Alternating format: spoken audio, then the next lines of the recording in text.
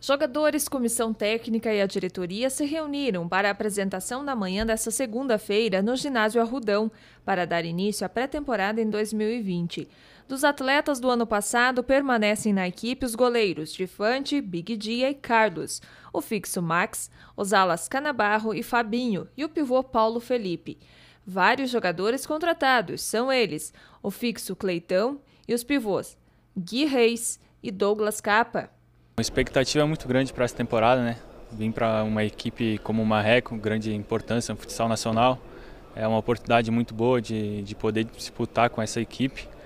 E os objetivos, como sempre, é trabalhar bastante, buscar títulos e fazer um bom trabalho durante a temporada. Também os alas Linhares, Lolato, Beto, Canhoto, que retornam ao Marreco. Muito bom estar de volta, muito bom. É, a gente conseguiu eu consegui ter bastante é, experiências fora e agora está é, voltando para minha cidade, para o time de, de coração.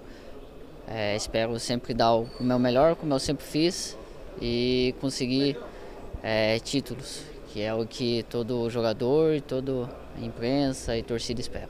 Ceará é o outro ala contratado. Eu sou um atleta mais de velocidade, né? Como ala, mas tem várias é, características secundárias, como adaptação de jogo, que é um jogo mais pensado, é, entrada no meio da defesa e esse tipo de, de jogo mais tático. Na comissão técnica, permanecem o preparador físico Ronaldo Germano, o preparador de goleiros Barbosa e o técnico Serginho, que tem o compromisso de lidar com as mudanças e organizar o elenco. Uma mudança grande em termos de investimento. Né? Na contrapartida, a gente não tem condição de trazer grandes jogadores, dentro de uma nova filosofia do, do projeto do Marreco a partir de agora de 2020.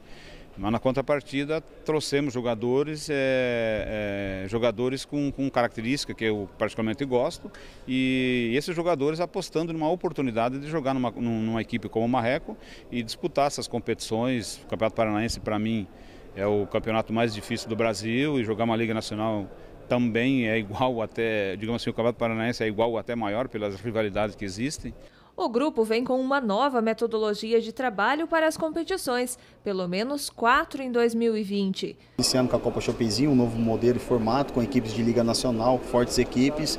Depois nós teremos no, no primeiro momento o Paranaense da Série Ouro, a Liga Nacional, que terá um, um, um tempo de, de de espera aí, porque nós teremos uma Copa do Mundo nesse ano e aí nós no segundo semestre teremos continuidade da Liga, da Liga Nacional e também a, a Liga Futsal Paraná retornando aí no segundo semestre. Teremos arbitral da Série Ouro no dia 16 agora, presente, e nós teremos arbitral também no dia 18 em São Paulo da Liga Nacional. Então lá será definido todo o calendário do ano do Marreco Futsal. Depois da apresentação, os atletas seguiram para uma clínica para exames médicos.